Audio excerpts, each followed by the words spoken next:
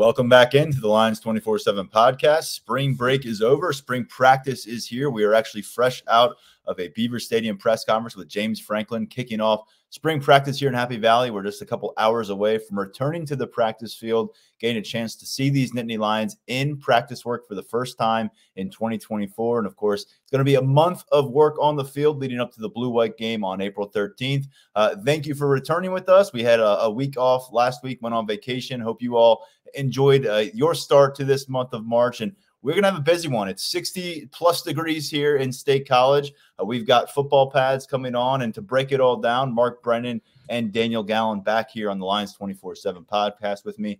Fellas, uh, it, it, you know, it's kind of a fresh start for a lot of, uh, of, of us in the media. We get new kind of eyes on this team. It's certainly a fresh opportunity for the coaching staff, which has three new coordinators, and for this roster, which has 20 plus new scholarship members. And as always, when you get back on the field in mid March, Mark, we're uh, removed from what happened last season. There's a little bit less of a feeling that this team is coming off of a loss from the Peach Bowl because we're, we're pretty far away from that. And hope springs eternal, although we have some things to address. Yeah, I think you know the weather. It's unbelievable because just yesterday it was like 30 degrees in Happy Valley, and it's like uh, Mother Nature knew that spring practice was starting. So we'll see if they're going to actually practice outside today. But yeah, I mean, it's, it's every spring. It's like a, a, new sense of kind of hope. Um, you know, just things kind of renewing, the everything resetting. Don't think anybody was real happy with the way anybody at Penn State was really happy with the way the season ended uh, you know, kind of in hindsight, we talked about this after the bowl game with all the opt outs and uh, all the people making early exits during the game. Uh, I, I, guess that uh, outcome was sort of inevitable.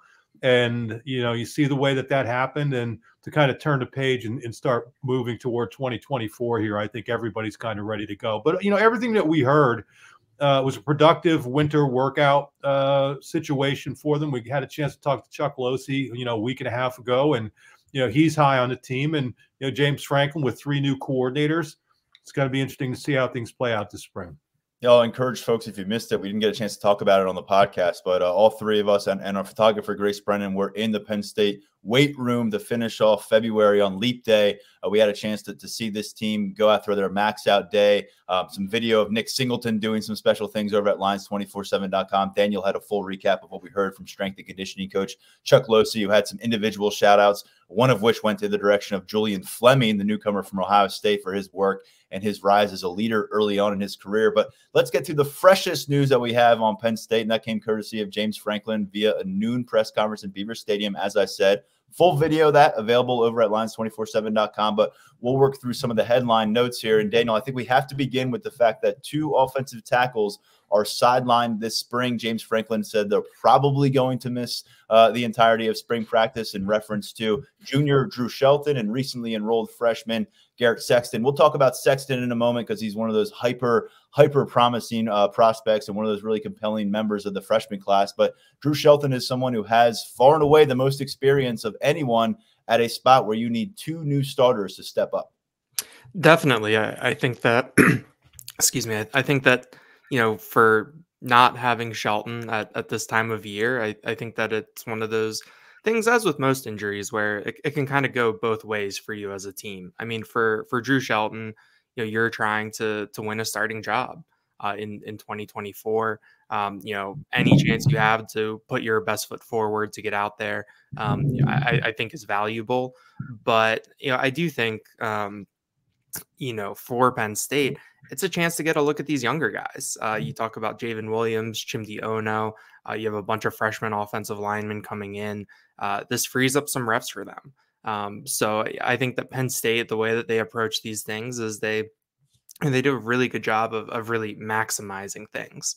Um, so I, I, think that for you know for them, um, you're going to get a, a, good chance to to look at a lot of different guys. Um, you know, for Shelton, I think the way that James Franklin framed it, I thought was interesting. He said that it was an injury that Shelton could have gotten surgery right away. He could have waited till the end of the season, or he could have waited until later on in his career. He said it's something that that guys can play through. Um, so you know, I do think that where you are in the calendar, you know, I I think that if you're Shelton, I think it's a good decision, you know, for the long term. you know, in the short term, you, you might miss the spring practice a little bit, but in the long term, you'll get to come back healthy, um, you know, and then really have the chance to compete uh, the, this fall. So I think you look at both those tackle positions, you can go a lot of different directions.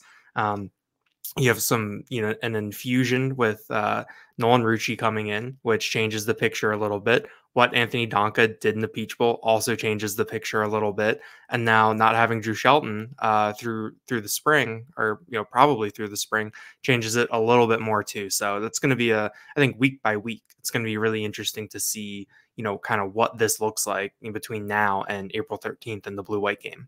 Drew Shelton was spotted wearing an arm sling earlier this winter during a, a public event. And so, not a ton of surprise that that's going to be something that lingers and maybe impacts him here uh, for the next month or so. But we also want to remind our listeners, you know, this is a recovery mode process that we've seen other veterans take through the spring ball. I want to point to the tight ends last year. Theo Johnson and Tyler Warren did not participate in any of those 15 spring practices. We know what their role looked like when that team got in the field come September. So uh, we'll see what that means for Drew Shelton. He's a guy who approached 400 snaps on the field last year as the backup on both the right side and the left side. He, he pushed Caedan Wallace for a portion of the year, ultimately uh, ending up reshifting focus to the left side by the end of that season. And he got the start in the Peach Bowl when Olu Fashanu opted out. He's got six career starts, two of them in bowl matchups, and then he closed out the 22 regular 2022 regular season uh, in, in November as the main left tackle as a freshman, now a junior, as I referenced. Uh, and Mark Nolan Rucci is someone who's going to be uh, factoring in here. Certainly, we've heard more about him on the right side, uh, but he has game experience on the left side. He's up to 315 pounds. James Franklin earlier told us he was about 299 when he got to campus. He was sub 300 uh, for most of his Wisconsin career. So you like the physical progression there, but a couple other names that he also brought into the equation. Uh, JB Nelson, referencing his history not just repping at tackle with Penn State, but also starting at tackle at the junior college level. And then you've got Cooper Cousins, who they feel like, and we've talked about this a lot uh, about his prospect profile, could fill a variety of roles, including the tackle spot. Uh, but James Franklin said they really want to keep his focus narrowed on the center position here in his initial semester on campus. You've got Egan Boyer, who, like Garrett Sexton, came to campus in January, but he's six foot eight, 250 pounds. So I don't think that's a guy you're going to be throwing at, at defensive ends in Big Ten play this year. Sexton was a bit more interesting, Mark, because all of a sudden he popped up on the roster uh, refresh last uh, you know last month, uh, late in February at, at 295 pounds. And this guy was the big story. He was 195 pound sophomore quarterback in high school, ends up being a top 200 tackle prospect. But on signing day, he was announced at 260. So you're thinking, okay, file him away, kind of like Boyer for later.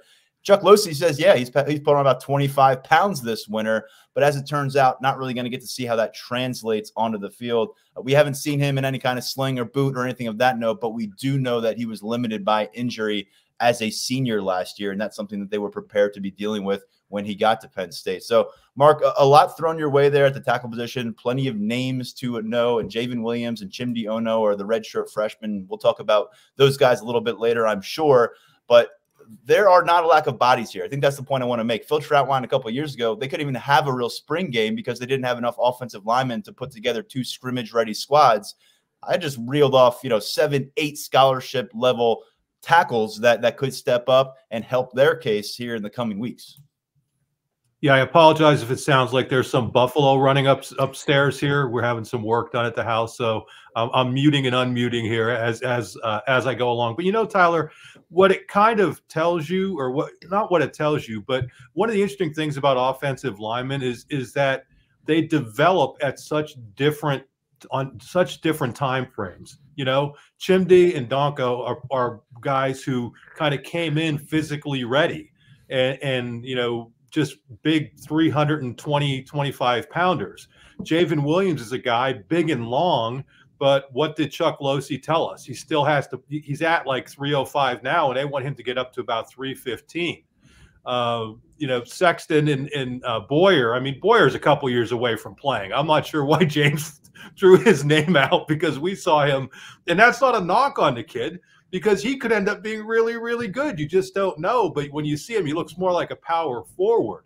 But this all brings me back to Rucci because uh, I'm old enough to have covered his dad, Todd Rucci, who was really a non-factor at Penn State as an offensive lineman until I think his redshirt junior year.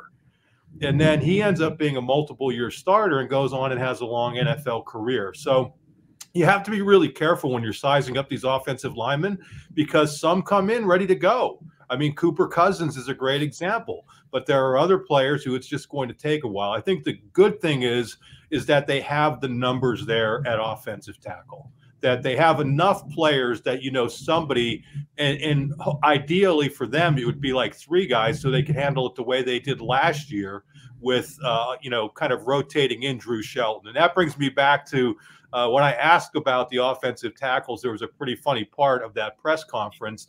And I said uh, yeah you know we kind of what in asking James Franklin about injuries, he usually tiptoes around them. But this kid was seen out in public at an NIL event with his, you know, Drew Shelton with his arm in a sling.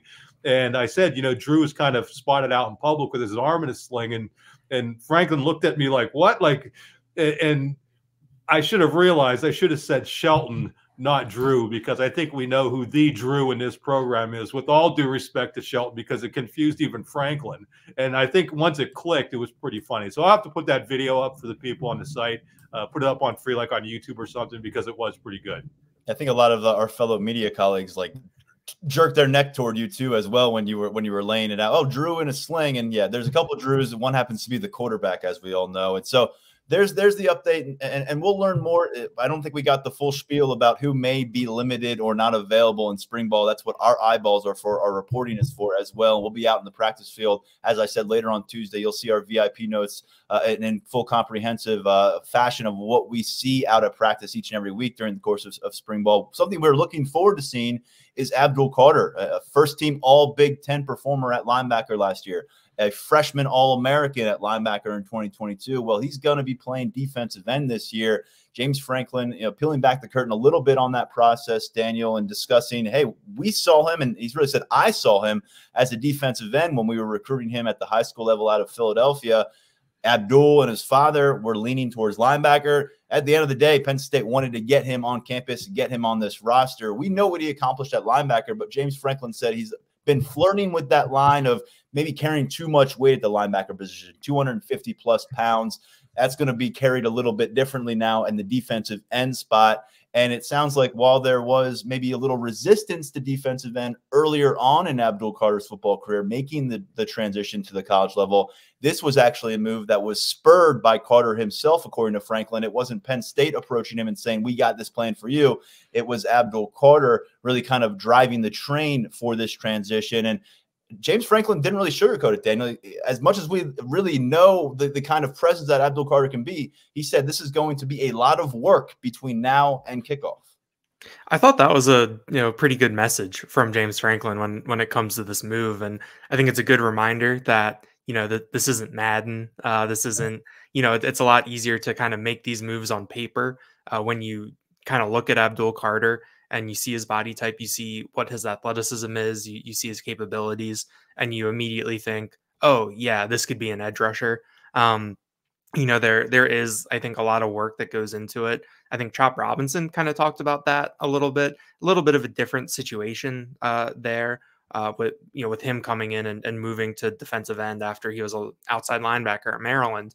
Um, but yeah, I thought that was just kind of a, a good reminder from James Franklin that this is still a process. It's still a completely new position.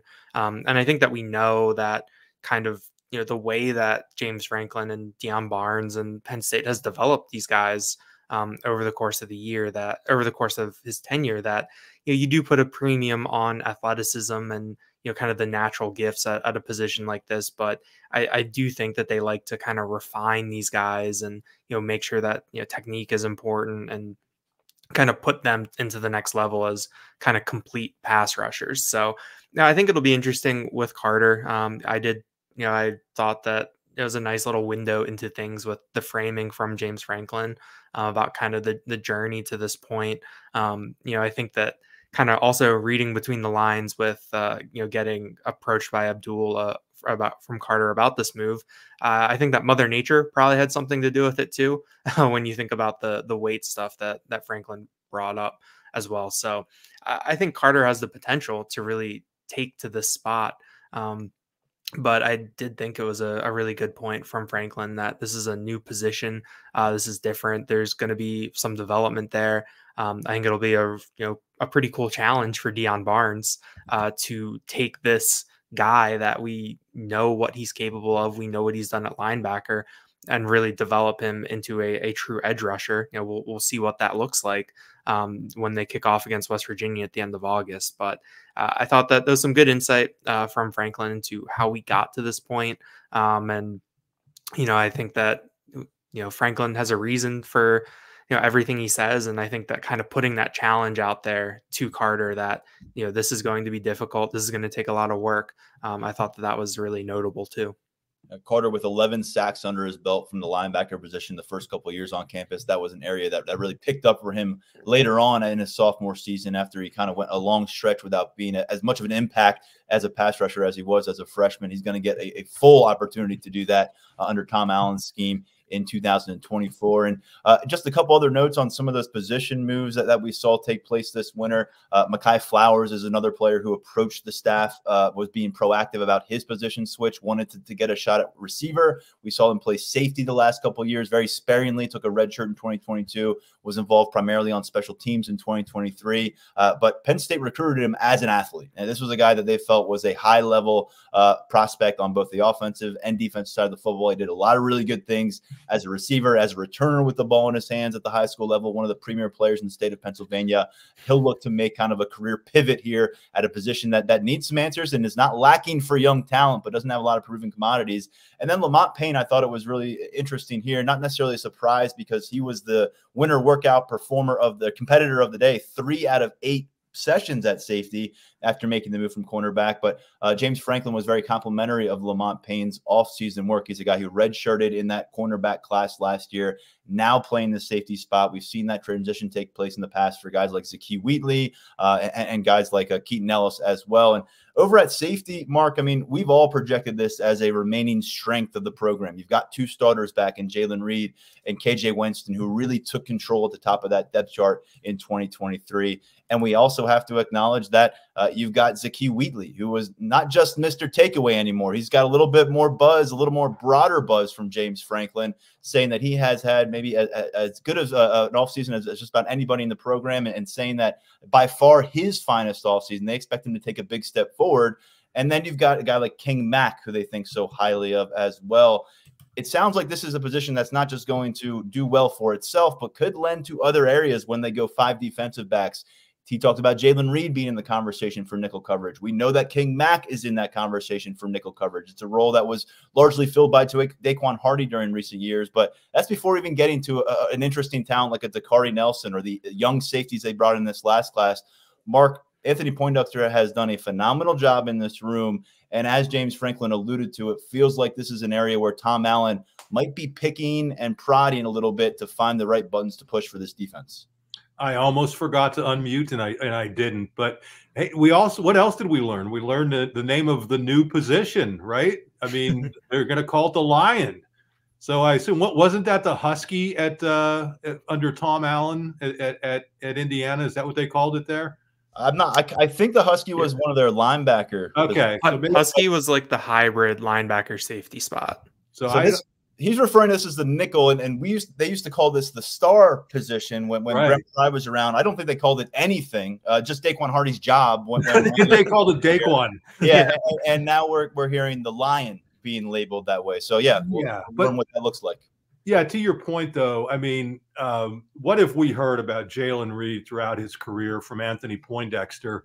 Just a super high IQ football guy, you know, one of the smartest guys out there. Not that he isn't a really good player and athletic and all those things, but um, going back to where, what you originally talked about, Tyler, what are the ramifications for the rest of the defense? I think when you have a guy like Jalen Reed, uh, he's going to give you those options where yeah you could really put him in so many different spots and he's going to be comfortable and that frees up a guy like Wheatley who I think we were all a little bit surprised by how little he played last year. I think we were all projecting more of a rotation type uh, situation with him and Keaton Ellis and, and neither one of them really saw the field that much. So if you have a position that's that strong and we've heard nothing but good things about King Mack Sure. I mean, why wouldn't you want to try to, to to to utilize that as best you could, especially when there are so many question marks at linebacker? So I think you're going to see a lot of six DB uh, packages because you have guys in that secondary, starting with Jaylen Reed,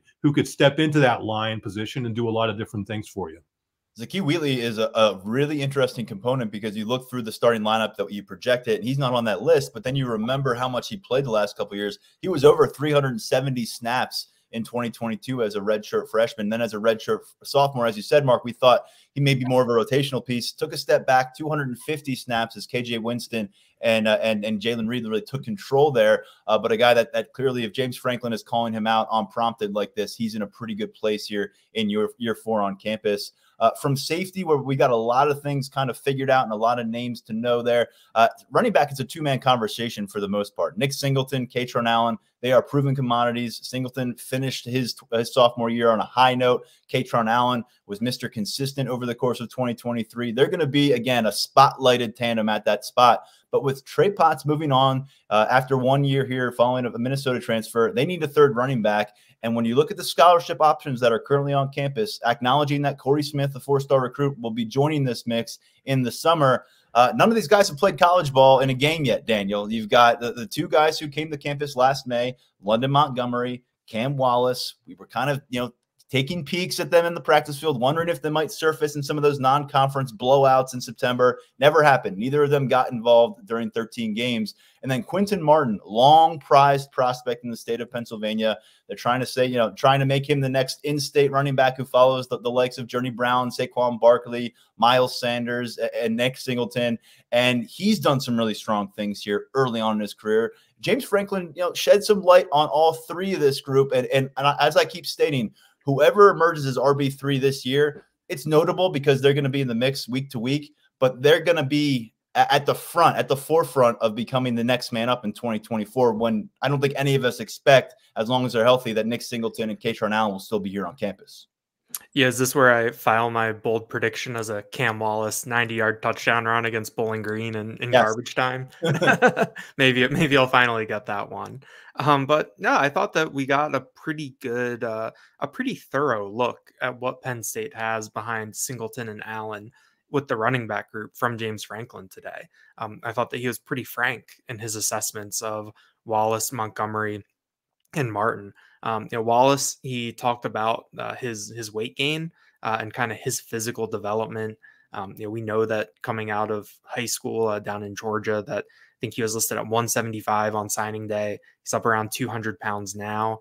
Uh, he said last month that uh, his plan is to play even heavier than that, um, and, and, he's retained. He feels he's retained his speed and athleticism. Um, and so, you know, I think that he's. It's kind of interesting to see where he'll be in year two and in, in, sort of that development.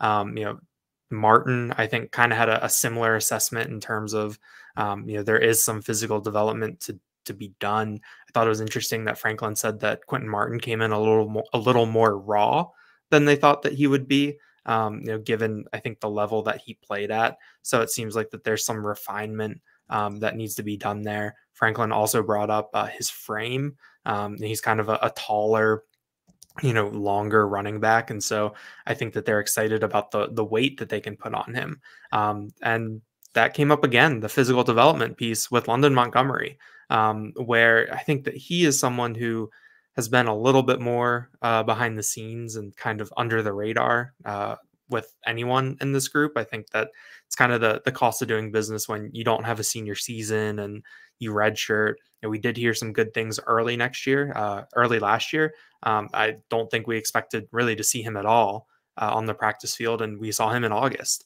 Um, but James Franklin said that London Montgomery needs to bulk up. You know, he's still around 185. Um, Franklin made the comparison that you're going to have to pick up the blitz against someone like Abdul Carter if you want to play running back in the Big Ten. And that's really difficult to do um, at 185 pounds. Franklin had a lot of praise for Montgomery in, in terms of the on-field stuff. I, it sounds like that he's making plays in practice, then he's making a good impression.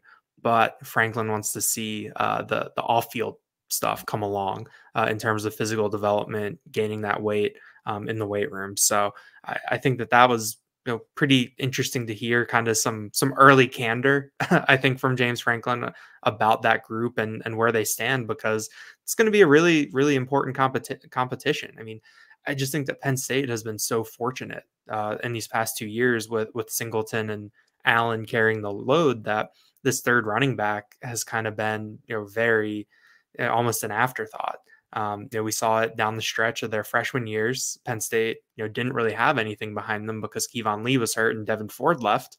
Um, and so Penn State kind of, I want to say they got away with one there, but they were very fortunate uh, with the health there. You know, they did a good job this year, and Trey Potts was kind of a, a bit piece, you know, bit player here and there. Um, but you, know, you kind of never know what's going to happen at a position like that. So you're going to need these guys to be ready. Um, and so this this battle in the spring, uh, I think, is going to be pretty fierce. And something else that Franklin referenced is is that you know Kaytron Allen and Nick Singleton they have their scars from battle. They they have accrued those over a couple years. They played a bunch of football, so there's an opportunity here to maybe lighten the load on them when it makes sense. And and because you have seen nothing from from these other scholarship running backs in games, see what they can do against your top tier defenders. And, and when that competition heats up, we know Ja'Juan Seider isn't just looking for, for physicality here. He's looking for the psychological competitive edge in all of these running backs. And um, it's just it's just a room that, that we have a lot to learn about. We know so much about the top of it, uh, but because of the transition that's taken place and these younger components and the lack of game experience as freshmen, really going to be something that's fun to follow, and it's going to be pretty important to follow for this program at the position moving beyond 2024. Uh, speaking of the running back spot, uh, Mark, you're uh, our resident Philadelphia Eagles fan, so we'll throw this one over to you. Saquon Barkley back in the state of Pennsylvania to the chagrin of New York Giants fans everywhere, including my mother-in-law, who won't stop blowing me up about this. She's like Tiki Barber. Um, but we have a situation here where Saquon Barkley is making a lot of those Penn State, Philadelphia Eagles crossover fans very happy. But James Franklin added a different dynamic to the conversation as well when he discussed this today, Mark. Yeah, I mean, I, I was actually a little surprised James went as deep into that as he did, but I guess that was kind of an easy question, and he has a good way of kind of filibustering uh, when he gets an easy question. But you know, a couple things on, on that front. Number one, the fact that Saquon was talking to James and his wife Fumi about his career. I mean, I think it goes to show the sort of relationship uh, that that he's built. And, and, I think sometimes we forget that, you know, you see Saquon in all these commercials and you know all over TV and just a beloved figure. And I think sometimes you forget he's a human being, and who do, who are the people he leans on? Well, I'm sure his parents, and then obviously to hear that James and, and Fumi were were kind of sounding boards for him uh, I, I think was was was pretty cool. But the whole aspect of him getting back in the state, you know, we've seen Saquon around maybe once or once or twice a year. Uh, here in State College, and not that uh, being, you know, playing for the Giants was like it wasn't like he was in Seattle or something, but I think just having him back in the states, uh, state, and uh, hearing what Howie Roseman kind of said to to Saquon about how he will fit and those kind of things, I just think it was all all pretty cool to, to see. It's, you know, I've always uh, been a fan of Saquon Barkley since he left uh, Penn State. You have to be objective when he's here, but even when he was playing for the hated Giants, uh, always liked him as a player, always liked him the way he carried himself. And I, I think we're seeing that again now. So, uh, yeah, from my perspective, uh, the fact that James Franklin is still such a sounding board for him is pretty cool. And then the fact that if Saquon gets back, if and when, and we we've heard this uh, about we heard it from Ty Howle down at the bowl game about how a lot of these NFL guys when they come back, Ty Howle was talking about the tight ends, you know, the impact they could have. I mean, what do you think it's like when Saquon walks in? For these running backs. I'm sure even a guy like Nick Singleton, they're probably all ears knowing everything that he's gone through. And he has gone through a lot now. So good to see good things happening for a good person. Yeah, a lot of movement out there. We, we saw Yetur Gross Matos uh, sign a two year deal with the 49ers, getting himself a nice pay raise off a rookie deal with the Carolina Panthers. Uh, Mike Gesicki uh, going to what we expect to be a much better offense than the one he was involved with in the New England Patriots last year, getting a chance to play with Joe Burrow and the Cincinnati Bengals. But of course, Saquon Barkley, the headliner here, going from one division rival to the other, now a Philadelphia Eagle. Uh, that's going to do it for our, our, recap of James Franklin's press conference. Again, see that in its entirety over at lions247.com. About a half hour or so of content. We're going to move over to our spring football roundtable series, which we launched about a week ago over at lions247.com while I was away on vacation. Um, we had an opportunity to, to go through a lot of key topics of what we were looking at, some of the questions we had about this program as they approach their return to the practice field. We figured today at the start of spring practice was a good opportunity to bring that to the podcast. So we're not going to go through our entire roundtable series, which you can see all of that at lions247.com. But some of the top topics we're going to work our way through right now. And we'll begin with, I think, probably is the external question for most people nationally, regionally, locally, otherwise, is the offense. Penn State's offense. They canned their coordinator during the regular season last year after the second, uh, you know, second no show essentially on a big stage against Michigan. We know the rest of the story. It was a, a tag team kind of deal. Ja'Juan Seider and Ty Howle down the stretch, ultimately bringing in Andy Kotelnicki, who was named 24 7 Sports Coordinator of the Year on offense for what he did at Kansas last season. And we'll begin this one with you, Mark. Keys for the offense this spring. We're not talking about September. We're not talking about Big Ten action. We're talking about this next month of on field work. Where do you put your focus for this offense? Hey, just by way of housekeeping and not what's going on upstairs, uh, we rotate who goes first, second, and third in these, uh, but we had to shuffle them around a little bit. So if you saw them on the site and it didn't look like the rotation was going the right way, that's why because we had just for for the flow of them it, it, went a little bit better but yeah i mean i think for me the most obvious thing is meshing what penn state's done with andy kotelnicki's uh, system you know, we had an opportunity to talk to Drew Shelton in early February, or yeah, kind, kind of right there in early. Drew, Drew Allar. Drew Allar. My God. I'm screwing myself up here. Uh, Drew Allar uh, in early February, or like that first week of February. And um, he was asked, you know, what what's it been like working with Andy Kotelnicki? And he said, you know, they really didn't have that much time to do it in January because he was on the road the whole time recruiting Kotelnicki.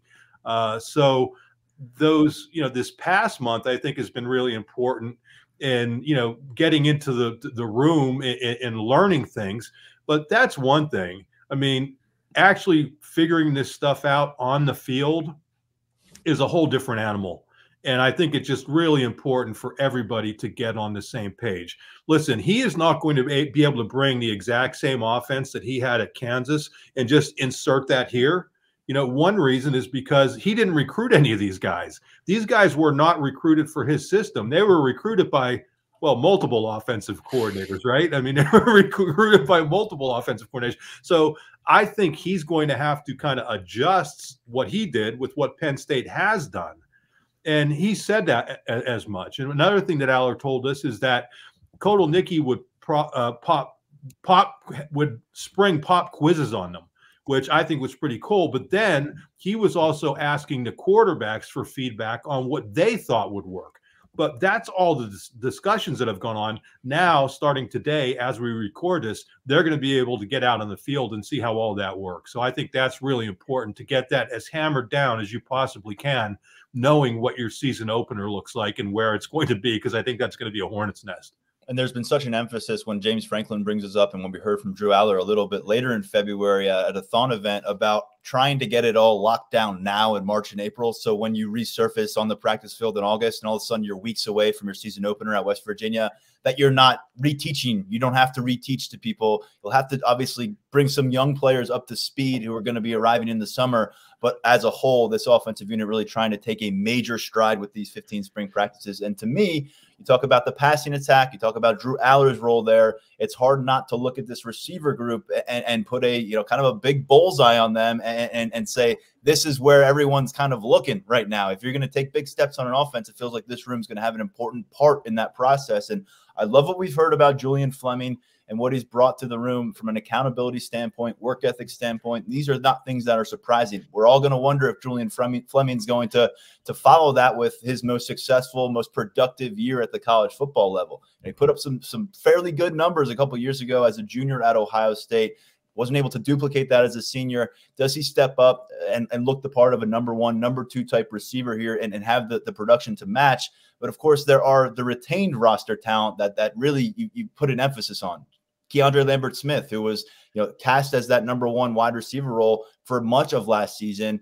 Uh, did not able was not able to do much for one reason or the other. The final month of the regular season, and, and then you throw in the bowl game, and and, it just was hard to make a, a, a they kind of make sense of what Keandre Lambert Smith and, and what the passing attack put out there for the 2023 campaign. And then Harrison Wallace is, is kind of the ultimate tease on this offensive roster because we had guys telling us that he looked like the number one receiver last August for this passing attack. He led the team in receptions in the season opener against West Virginia, but because of a couple different medical setbacks, we never got to see him string together consistent work during the regular season. He got out there for some Peach Bowl opportunities, uh, caught some passes from Drew Allar later in that contest, but again, largely unproven despite how highly they think of him in that uh, facility. And, and, I think those are just kind of the three guys you work with because they've played pretty extensively at this level. And then the other guys are, are really the enigma comes from. You've got five players now who are in their third year with this program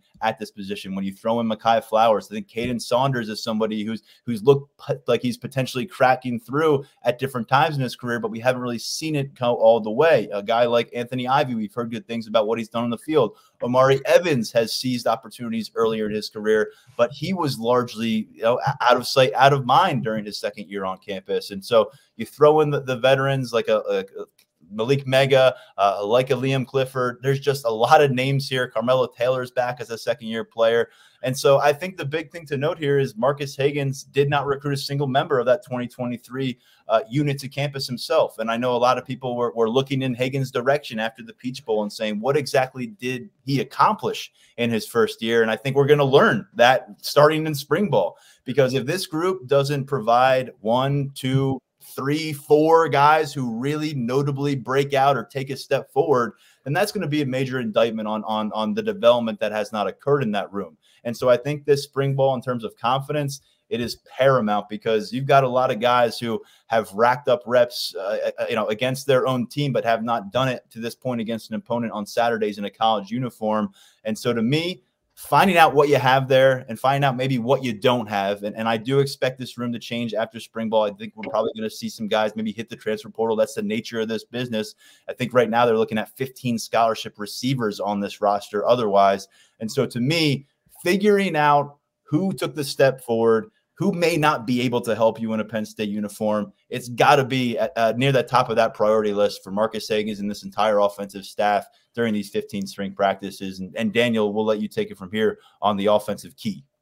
Yeah, I, I sort of split the difference uh, a little bit between you guys. I mean, there are other places on this offense that you can look. Uh, I mean, the offensive line, you have to replace three starters, but I, I stayed with the pass catchers. And I think a big key for Penn State uh, this spring is to kind of figure out what the balance is going to be with that group. You you look back to last year, and they started in two tight end sets, uh, twelve times in thirteen games. No matter how many times Liam Clifford was announced as a starter on the scoreboard, uh, the tight ends ended up with more than half of the of Drew Allar's touchdown catches, passes, uh, Beau Pribula too. Um, and so I, I think that you just really want to figure out your balance. I know that it helps if Harrison Wallace steps up, uh, if Julian Fleming can be a reliable option, if Keandre Lambert Smith uh, is is consistent, if one of those you know billion other guys steps up uh, and steps into a big role, you know that will obviously help um, in this area. But I think that you just want to figure out how to find a balance with this offense in terms of where the ball is going and how you can use that to generate some explosive plays. Um, you know, you need to figure out who your most reliable pass catchers are among the running backs, tight ends, and wide receivers, uh, and then figure out how to generate explosive plays from there.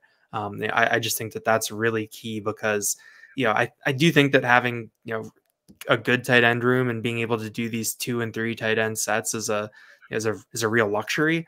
But I think that we saw at times this year about how kind of bogged down the offense felt, um, and how you know you need those wide receivers to be able to be explosive. So you want to find that balance, and I think now is a good time to do that.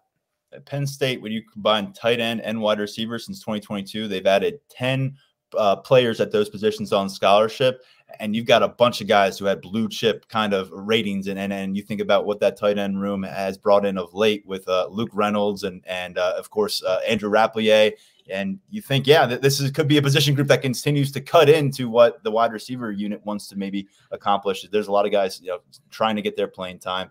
Defensively, uh, again, new leadership here. Tom Allen uh, making the move after uh, being Indiana's head coach for, for several seasons. He was fired during the regular season last year. Uh, rather than sitting out and, and, going to a studio analyst job or, or be, becoming some kind of a, some kind of consultant, he goes all in. Linebackers coach, coordinator here at Penn State. Not exactly a, a job uh, in between jobs. It's an important task. And James Franklin said that he feels like Tom Allen is really, really loving his his return to the coordinator status. And Mark, when we look at, or I'm sorry, I got the first one here actually. I'm, I'm, I'm screwing up my own flow. When we look at the keys of the defense, uh, to me, uh, you know, Manny Diaz obviously had an elite unit. Uh, it was highly ranked, or if not the highest ranked, in just about every category that that really matters. And to me, it's about finding the right fits in the cornerback reload because we can look at defensive end. I know we're going to talk about that, but three cornerbacks who really rarely left the field, 1,500 combined snaps for Johnny Dixon, Daequan Hardy, Kalen King, guys who are now trying to pursue their NFL dreams they're gone. And Penn State has found a really interesting way to maybe fill their holes. It's a mix of new additions. You got a couple guys with SEC experience and AJ Harris out of Georgia, Jalen Kimber from Florida. Kimber was a starter for the Gators. Harris burned redshirt last year as a freshman. Both of them were top 100 prospects.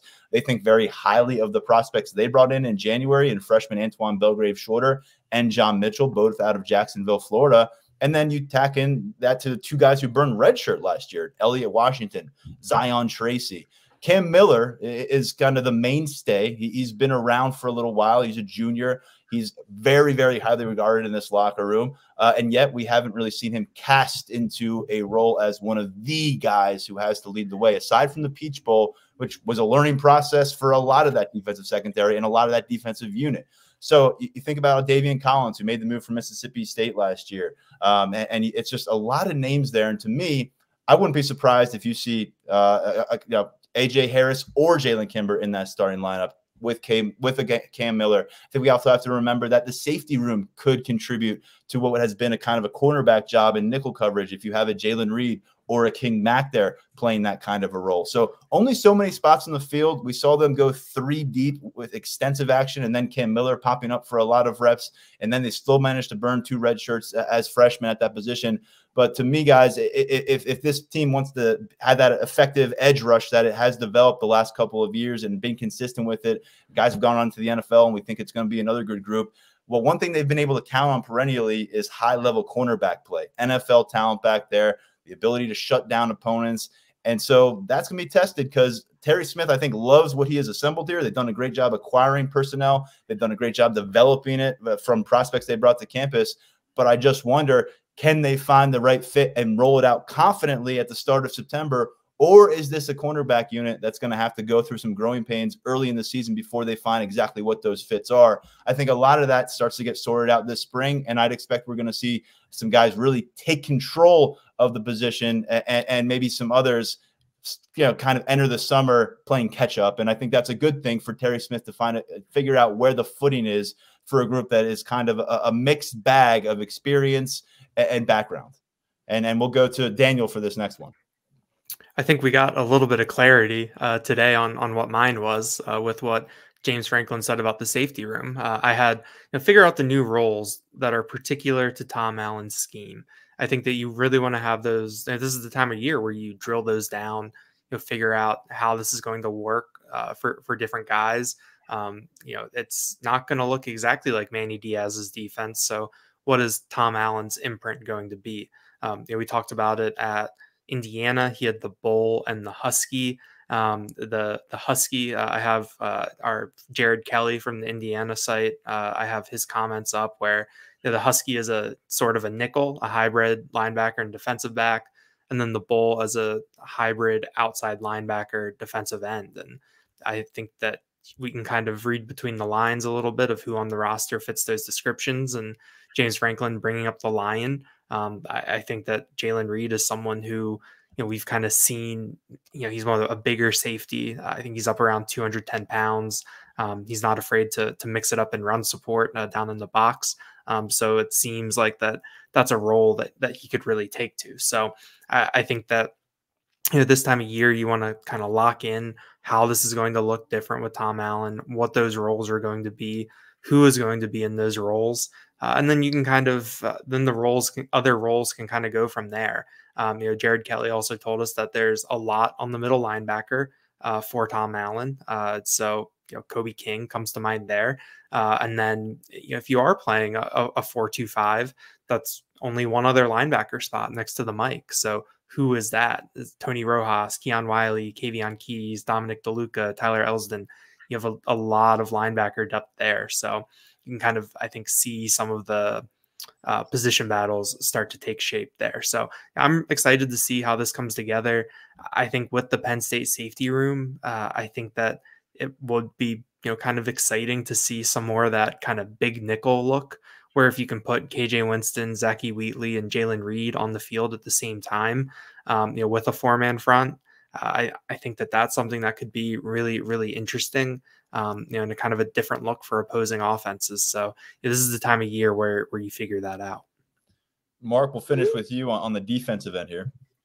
Yeah. Uh, kind of building off uh, what we're talking about with Abdul Carter and then what Daniel was just talking about, I, I think – you know, figuring out how all these defensive ends are going to fit into uh, Tom Allen's system, I think, is really important. You, you're obviously losing Chop Robinson and Adisa Isaac to the NFL. I mean, both of those guys, I think, really helped themselves at the combine.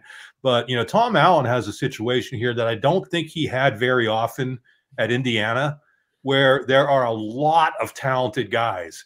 And between Tom Allen and Deion Barnes, they're going to have to figure out how to allocate these snaps because even with those guys gone, I mean, I think the one given here uh, is Dani Dennis Sutton.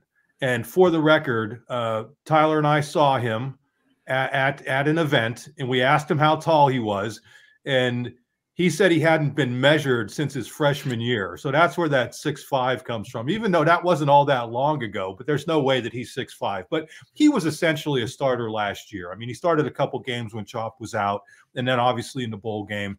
Uh, but other than that, he rotated in, and I don't have the snap numbers in front of me, but I'm sure he was right up there uh, with Chop and Adisa in terms of how many snaps he had. But so he's a given. But I don't think you could say Abdul Carter's a given, especially hearing what we heard from James Franklin today, where it's like, yeah, this guy's got, got he has a ways to go. You know, I think that the, the next guy in line, Zuriah Fisher, uh, I thought he played really well, and it looks like he's really embraced becoming a, a, defensive end. He's up to 262 pounds now, and you see him, and he doesn't look like he's heavy at all. We know that Smith Vilbert, Tyler, you wrote the great story on Smith Vilbert. He's back in the mix. He's talking about being an outside inside type guy. Uh, Amin Vanover, I was kind of surprised. I went back and looked. He didn't play last year nearly as much. I know as we as as I recalled him playing, if that makes sense. It seemed like he made a bigger impact, but I know he was banged up a little bit. But uh, he's a guy who I think has an opportunity to do some really good things as well. And then you're bringing in Jalen Harvey, uh, a true freshman who is 266 pounds now. Yes. And then I'm leaving out the guy who I, I don't want to. I, I don't want to give a sneak peek to, to one of my future answers, uh, but I think Jameial Lyons, you know, when you hear what people in the program say about him, how he came in last year as a true freshman and was just mature and uh, you know carried himself the right way, had the size and the athleticism to contribute. I think they were hoping to redshirt him until Vanover, uh, Vanover and Chop got hurt, and then they had to pull that red shirt. And he and he played. I thought he acquitted himself well when he was out there. And Chuck Losey a couple weeks ago tells us how athletic this guy is. And when Chuck Losey's telling you a guy super athletic, you know, wow. So I'm throwing a lot of names out there, and that's not even that's not even all the scholarship guys. Those are the guys that I think. I don't think I missed anybody who we project to be kind of in that main rotation. But if you're looking for a four or five man rotation, I mean, you're going to have to figure out how to allocate snaps among all those people. Abdul Carter isn't moving to defensive end to be a backup, right? I mean, so I don't know that he's immediately a starter. I would, I, I guess he's immediately a starter. I don't know, but th- this, these are the things that you have to figure out uh, during the spring because again, I think when you look at that opening game at West Virginia, you are not going to be able to ease yourself in. I mean, you know what that game's going to be like after the way West Virginia lost and after after or knowing what West Virginia fans are like, and I mean that in a compl- in a complimentary way, that they're you know they're going to get after it, and it's going to be a crazy atmosphere. This may seem like a, a, a, an embarrassment of riches and a good problem to have, but it's a problem nonetheless, and that they have to figure out who are going to be the key guys and who's going to get the bulk of the snaps just a few follow-ups on some of the things you said. Uh, last year Dani Dennis Sutton did lead all defensive ends in total snaps. He had about 45 more than Adisa Isaac. Of course Chop Robinson missed a couple games and, and in his place Dani Dennis Sutton started. Um, and and Abdul Carter played about 50 snaps more than any other defender. So uh, I know we talked about maybe penciling in him uh, penciling him as a starter rather than writing in pen but he was hard to take off the field last year. I think that's going to be the case again uh, this year. And then just two other things. Zuriah Fisher was named competitor of the day from his position group, the de- whole entire defensive line, not just the defensive end group, the defensive tackles in there too.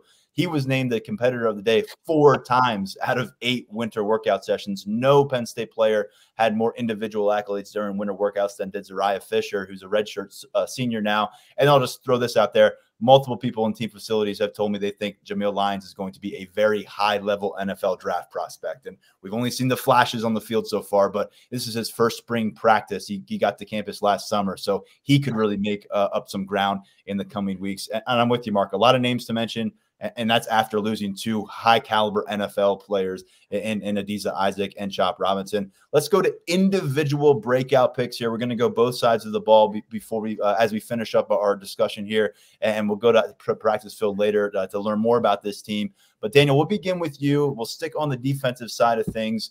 Individual breakout for spring ball. Who do you have? I've got someone that uh, we we just covered a little bit of ground about, uh, Zuriah Fisher um, the the veteran defensive end who has kind of spent most of his career uh, behind the scenes, whether it was making the adjustment in the switch from linebacker to defensive end, uh, whether it was because of injury, and whether it was because of the amount of talent uh, that Penn State had there. But I think that he did a nice job last year, kind of asserting himself in that rotation uh, behind Robinson, Isaac, and Dennis Sutton. I think that he anecdotally, I, I, thought he flashed a little bit. I thought that he had some good speed off of the edge. You, know, you look at how he's changed his body, and you know, Mark brought him brought up him being listed at 262 pounds. Um, that's what you're going to need to do if you're going to want to play against the run too uh, in the Big Ten and beyond. So I think that Fisher, you know, we we've talked about these winter workout shout outs that you know how much do you want to read into them? Uh, you know how much can you really you know project forward off of them? You know i made the point that i think it's more about who you do see than who you don't see in terms of where you should put the stock and so i think that seeing zuriah fisher there from the entire uh, defensive line group you know that's a group that has i think a couple guys that more than a couple guys that are going to play in the nfl and zuriah fisher isn't kind of not one of the first ones off the top of your head, I think that really says something about him. And I think he'll be in a, a really good position to be able to compete for, you know, a, a, a role in the top three of that rotation, get a lot of playing time and, and make something happen interesting path for Fisher. Recruit uh, comes to campus, linebacker year one, uh, loses much of the 2022 year because of an injury before he gets back late, and now here he is, year five, and there is some buzz around him. I'm going to go with someone who, whose career has been a little bit more straightforward before we turn to you, Mark, and and and Tony Rojas. Uh, I think the launch pad we all know is there for him right now, especially with Abdul Carter's move from linebacker to defensive end.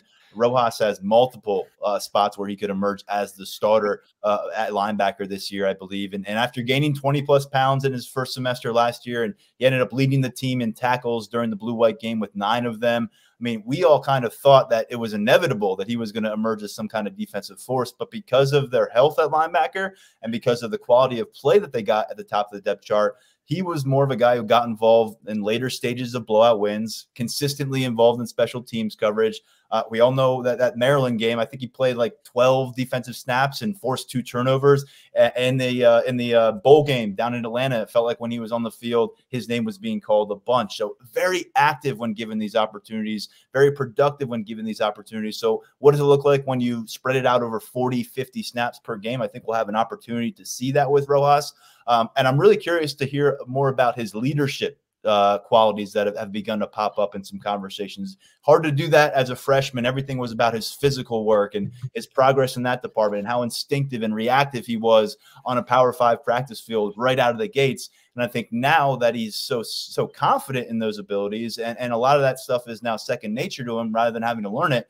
This spring and then going into the summer eventually, I think there's a real chance for him, as much as a sophomore can do. A sophomore hasn't started any games to this point. I think there's a real chance to him to be one of the voices on this defense when it matters most, and ultimately to be one of the faces of this defense by 2025. So I'm buying in. I don't think any of us have taken a foot off of the uh, Tony Rojas buzz bandwagon since last year but I think it's really going to start to reach another level this spring now that the opportunities are in front of him. And and uh, Mark, will finish with you here. Your defensive breakout pick for the spring.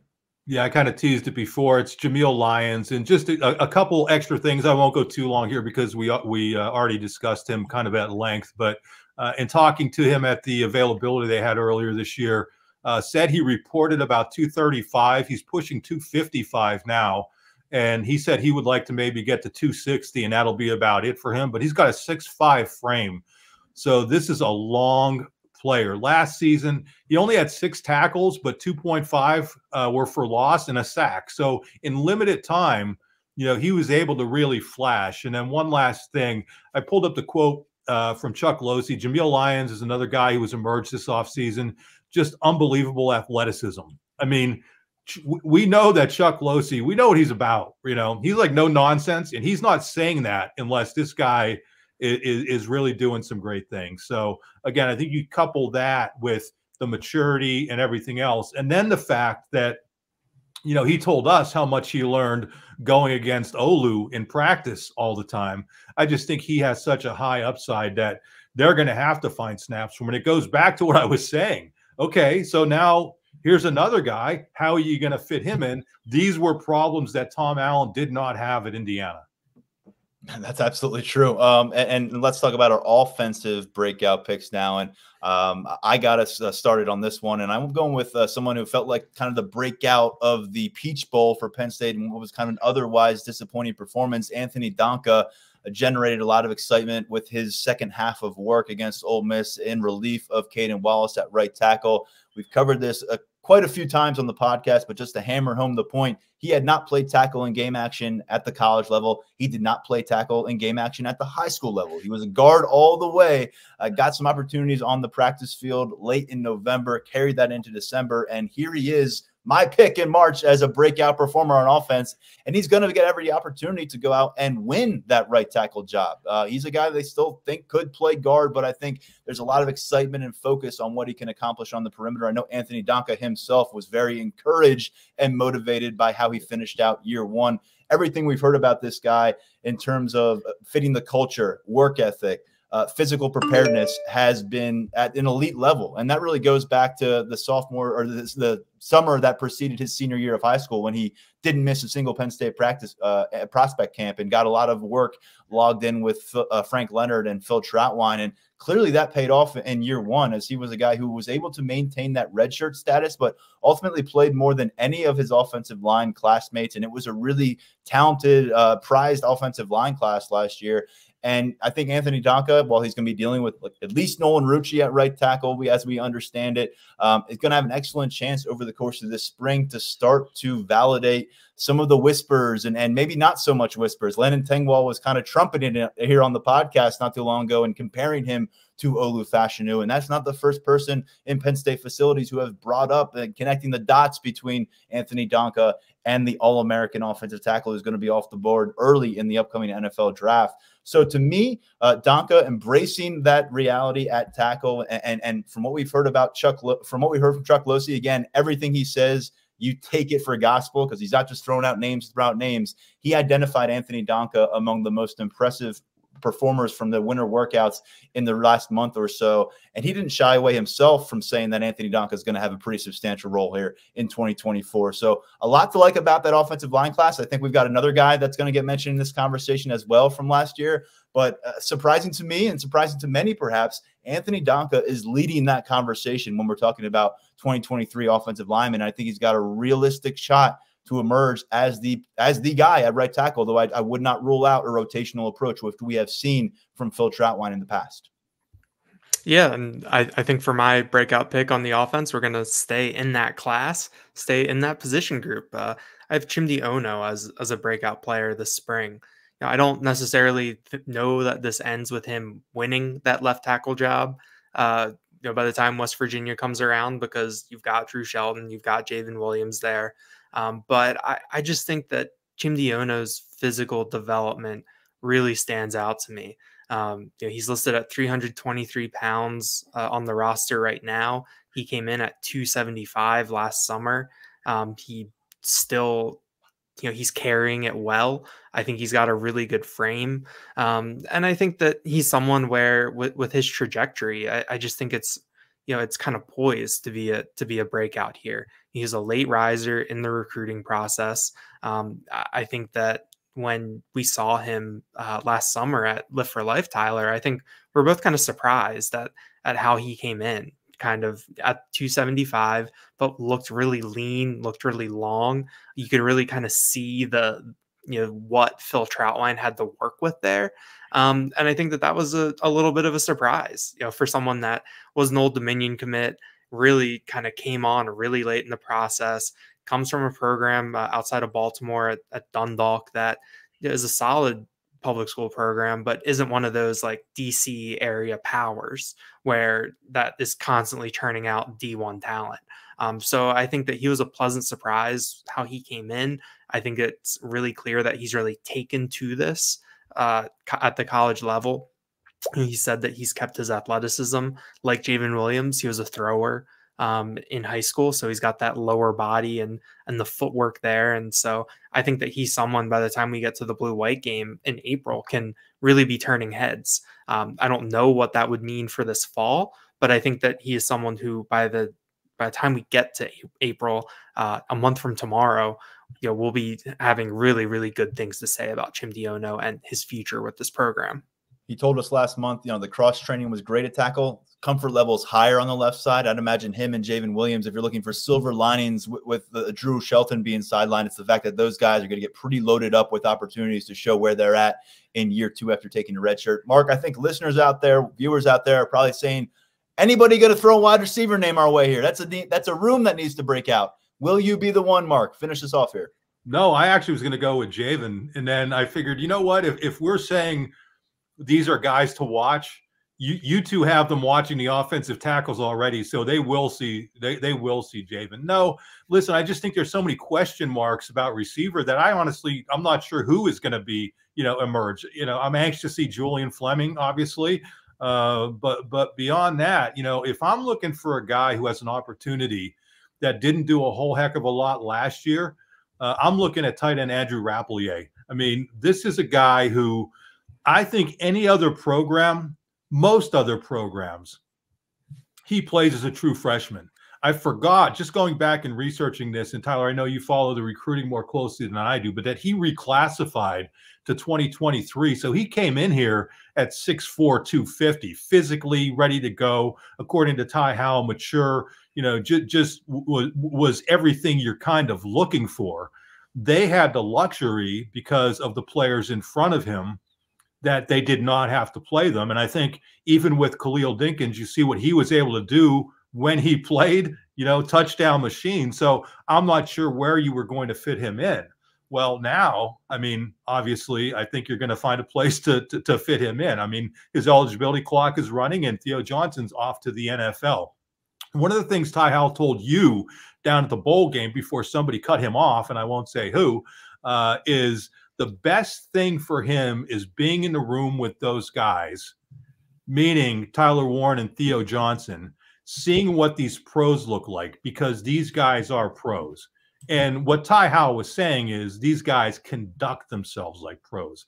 They carry themselves like pros. And just think of, you know, what that means to a young tight end to be in that room with those players and it went beyond that. I mean, Howle said that Freiermuth came back, Gesicki came back.